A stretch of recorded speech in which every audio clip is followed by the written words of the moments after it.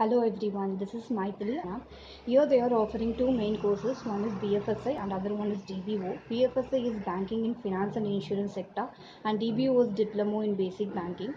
Uh, I have joined in diploma in basic banking. Here they are training us on UI English, IT, core banking, sales practice, customer service and a special class on yoga, motivational speech, aptitude and NAS in 8-5 classes as well.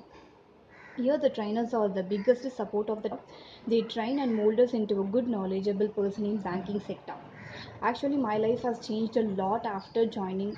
I have improved my communication skills. I am an NISM certified person and I got placed in Kotak Securities Limited with the CTC of 2.75 lakhs near T Nagar. And my colleagues also got placed in a good companies like Motilal, CAMS, Shriram, etc. Thank you.